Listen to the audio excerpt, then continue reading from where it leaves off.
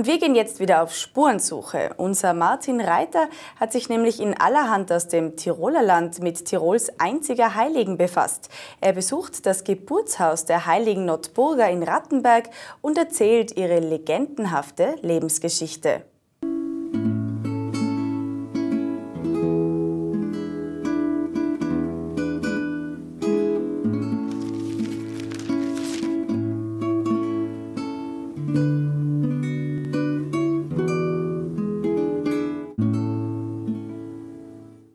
Rattenberg ist die kleinste Stadt Österreichs und unter anderem der Legende nach auch die Geburtsstadt der heiligen Notburga.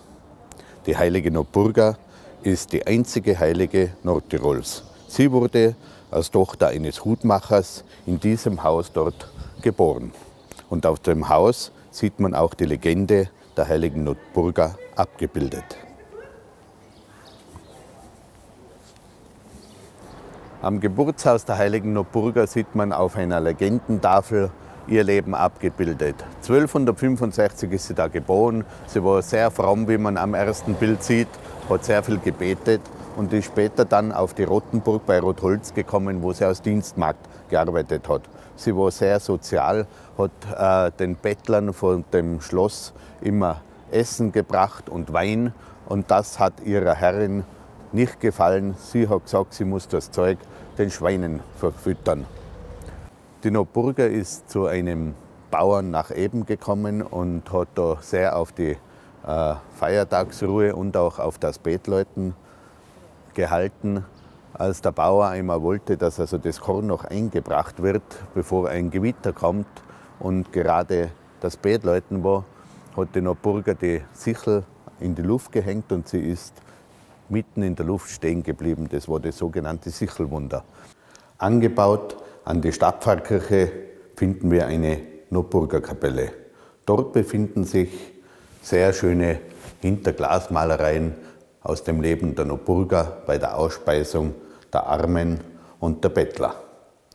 Eine Figur vom Künstler Feistenauer beherbergt Reliquien der heiligen Notburger.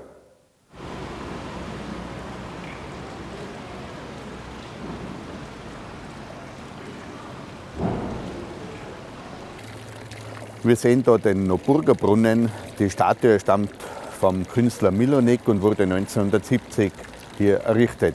Früher hat sich hinter dem Brunnen in dem Haus der Polizeiposten befunden. Und dort hat einmal ein Polizist seine Waffe geputzt und da hat sich ein Schuss gelöst und hat der heiligen Noburger den Kopf abgeschossen. Wir hoffen, dass Sie nicht kopflos bleiben und wir uns nächste Woche wiedersehen bei allerhand aus dem Tiroler Land.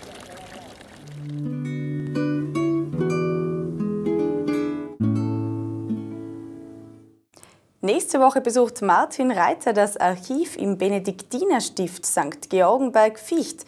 Dort befinden sich heute noch über 1000 Jahre alte Urkunden und Bücher.